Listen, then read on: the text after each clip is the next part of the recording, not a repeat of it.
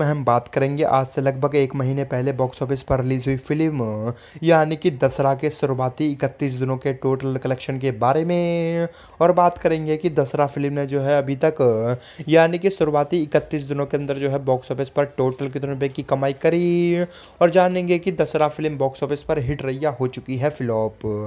तो दोस्तों, आपको बता दूँ कि दसरा जो कि एक Telugu mass masala commercial action film थी, जिस फ़िल्म हमें देखने को मिले थे नेचुरल स्टार नानी। और उनके साथ देखने को मिली थी कीर्ति सुरेश। और दोस्तों, आपको बता दूँ कि इस फ़िल्म को जो है पैन इंडिया लेवल पर रिलीज़ किया गया था। वहीं दोस्तों, अगर बात करें कि इस फ़िल्म ने अभी तक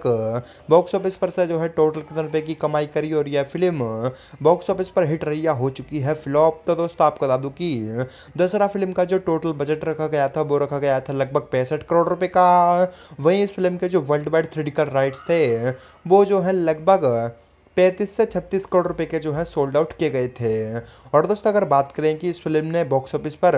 कितने रुपए की कमाई की है तो दोस्तों, आपको बता दूँ कि इस फ़िल्म ने अभी तक बॉक्स ऑफ़िस पर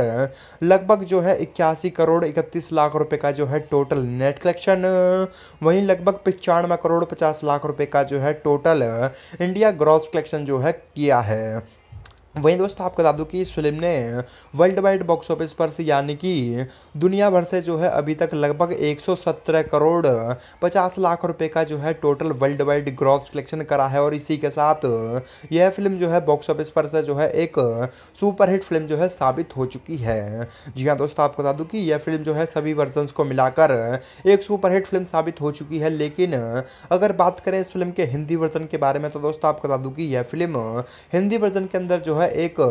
एवरेज फ़िल्म ही साबित रह पाई है। साथ ही साथ दोस्तों, आपको बता दूँ कि यह फ़िल्म जो है नेटफ्लिक्स पर भी अब आ चुकी है, जहाँ पर इस फ़िल्म को जो है तेलुगु वर्जन के साथ साथ से तमिल और सभी साउथ इंडियन लैंग्वेज में जो है रिलीज़ कर दिवा दिया गया है, लेकिन अभी तक इस फ़िल्म को हिंदी वर्जन के अंदर जो है रिलीज़ नहीं करवाया गया है नेटफ्लिक्स पर।